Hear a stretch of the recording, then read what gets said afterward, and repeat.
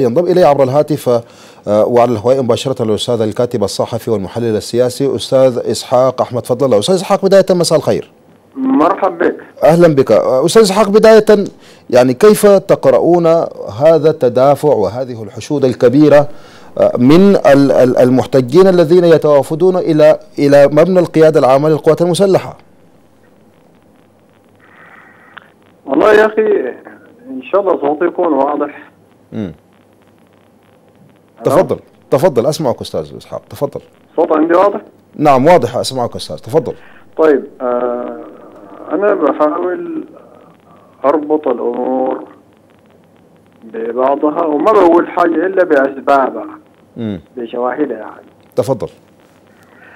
المسألة ببساطة كده آه كان مفروض حسب المخطط الخارجي الخارجي أنه يكون في اعتصام وزي اعتصام أنتم عارفينه.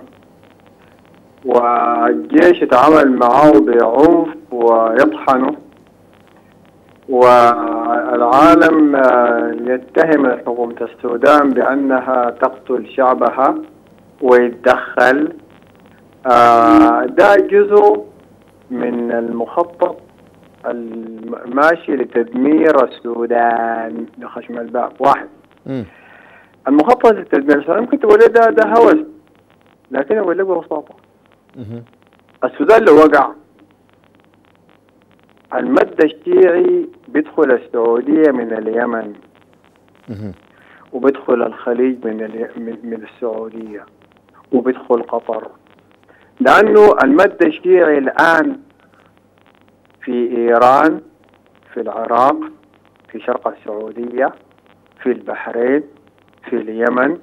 الوقف الحكاية دي الموقف السوداني. عشان كده حكومة السودان ودولة السودان لازم تقع. واحد اثنين. ثلاثة المظاهرين عندهم مطالب. طيب لكن قل لي المطالب دي اللي بتجيبها أو الم- المسألة المسألة الاقتصادية اللي بيحلها تسقط بس تسقط بس.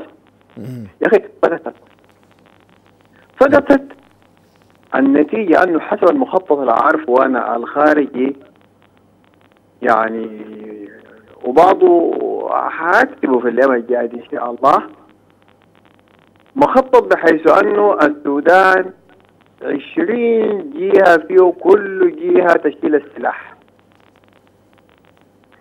فالكلام الكبار كبار ده أنا يعني أرجو أن تصدقوه ما صدقوه والله يا أخي قد اعذرتم مع معذرة إلى ربكم.